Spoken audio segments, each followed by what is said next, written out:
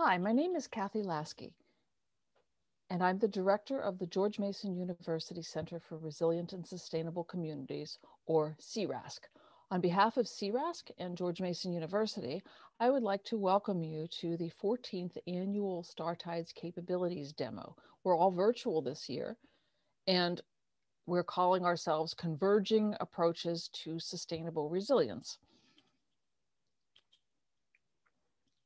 Let me start by giving you a little bit of background on CRASC. CRASC is one of a set of transdisciplinary research centers chartered by George Mason University. What do we mean by a transdisciplinary center? Well, the centers were chartered to deal with complex multifaceted problems that require expertise from multiple disciplines, not just individual contributions from multiple disciplines, but integrating in a way that creates new knowledge that goes beyond an individual discipline and also incorporates practitioners along with researchers. So the CRASC vision is to support communities worldwide as they create life-changing social and economic opportunities.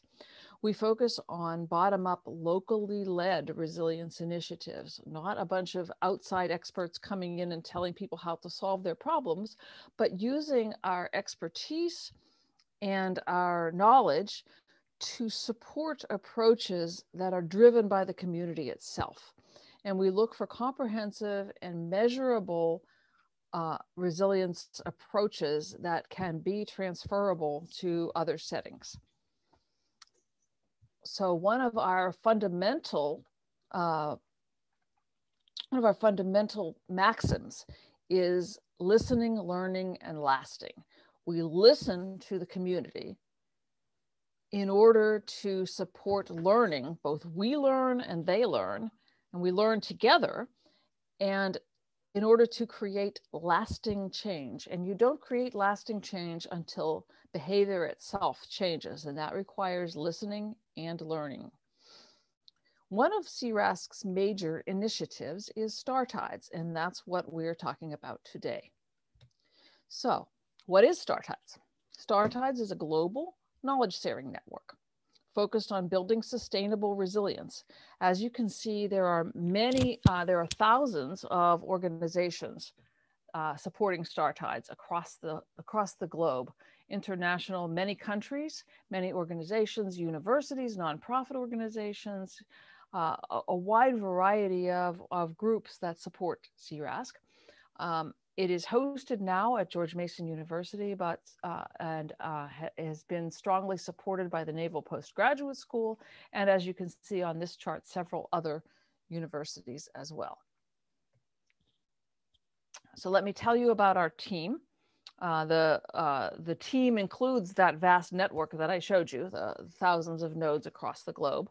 Uh, but at George Mason, our CRASC team, our transdisciplinary researchers are drawn from across the universities and our supporting institutions include the College of Science, the School of Business, the College of Health and Human Services, the Volgenau School of Engineering, the Schar School of Public Policy and Governance, and the Carter School for Peace and Conflict Resolution.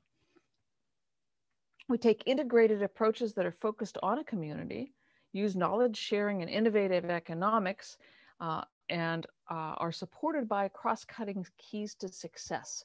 And we integrate a set of what StarTides Network has called the technological platforms. And you can see them on this circle, that these different platforms have to be integrated to solve resilience challenges.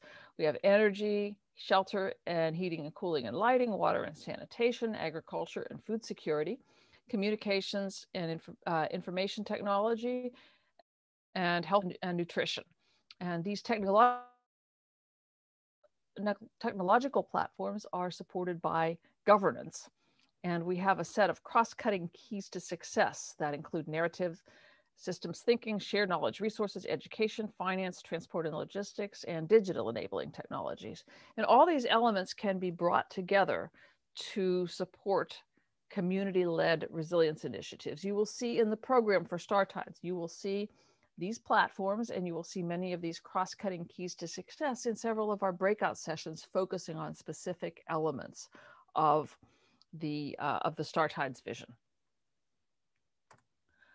So let me give you a little bit of history of StarTides. StarTides began in 2007 as a Department of Defense program called TIDES, which stands for Transformative Innovation for Development and uh, Emergency Support. And so for the past 14 years, uh, the TIDES program has supported real world events, field experimentation, technical demos. Uh, eventually, as the DoD program ramped down, we brought up uh, the, the, the uh, the, ter the term STAR was added, standing for Sharing for to, to Accelerate Research, uh, and it, it, became STAR Tides. And it moved to Mason in 2017 and was brought under CRASC when CRASC started in 2019, about one year ago. And so the technological demo, the, the annual Star Tides demo has been at George Mason since 2017. And currently, we have a number of projects and a number of Star Tides teams. If you go to our uh, website at star-tides.net, uh, you can learn more about our projects and more about our teams. We have collaborations with the People Centered Internet, the Atlantic Council's Geotech Center, several universities, including Syracuse University and Shepherd University in Shepherdstown, West Virginia, to address a number of resilience initiatives. And uh, StarTides supports a number of CRASC activities that include research projects on water for sustainable agriculture in Ethiopia, uh, complex adaptive threats such as cyber attacks that occur in conjunction with a natural disaster, uh, and, uh, and several other initiatives, including business resilience in Puerto Rico. And we also have an international reach. As I mentioned, there are StarTides nodes all over the world, but we also have StarTides networks in Japan and in Latin America. Let me give you an overview of StarTides, uh, our virtual capabilities demo. We, uh, the, uh, it's occurring, the main, the main program occurs on October 20 and 21, Tuesday and Wednesday. And the, we have three keynote speakers uh, Tom Friedman, a New York Times Pulitzer Prize winning columnist. We have a second keynote, uh, General Michael Plehn from the US Air Force, Deputy Commander of Southern Command, and Claire Melamed, who is the CEO of Global Partnership for Sustainable Development Data. These will be fascinating talks that uh, I'm sure that you will enjoy. And we also have several panels. We have a panel on building sustainable resilience across silos. And um, just as we need to branch out across multiple disciplines, we need to branch out from different silos, organizational silos that keep people from seeing cross-cutting solutions. We also have a panel on sustaining cross-cutting solutions across silos. And that's moderated. The first one is moderated by Dr. David Bray from the Atlantic Council, and the second one is moderated by Bob Gourley. And then each afternoon we will have breakout sessions, a set of sessions from 1 to 2.30 and a set of sessions from 2.45 to 4.15.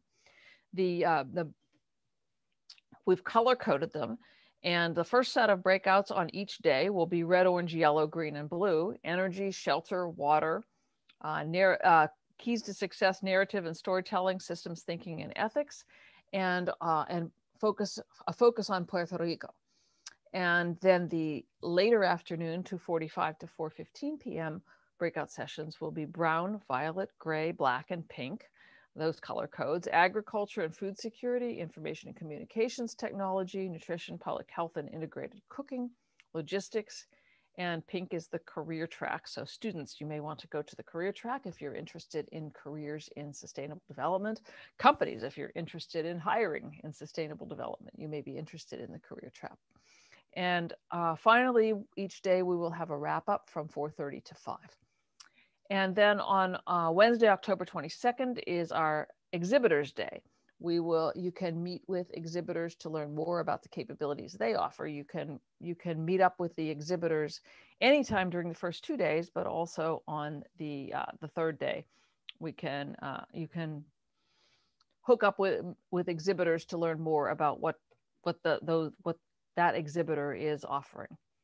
And so with that overview, I welcome you to our virtual capabilities demo. I'm sorry we can't meet you on the Merten lawn uh, as we have in, in, the past three years, uh, but I will be, I, I look forward to interacting with you at our virtual capabilities demo and let's hope next year we'll be back at George Mason in our usual location in person.